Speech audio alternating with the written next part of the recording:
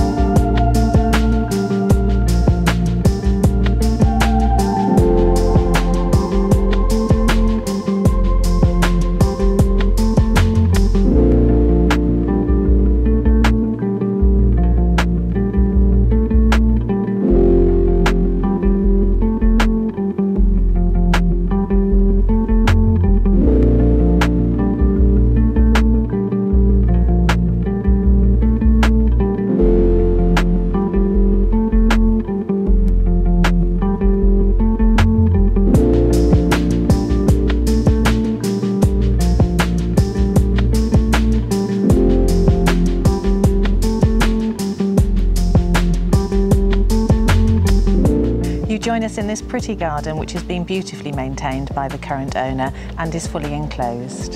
If you'd like to arrange an exclusive viewing, please contact us and the details to follow.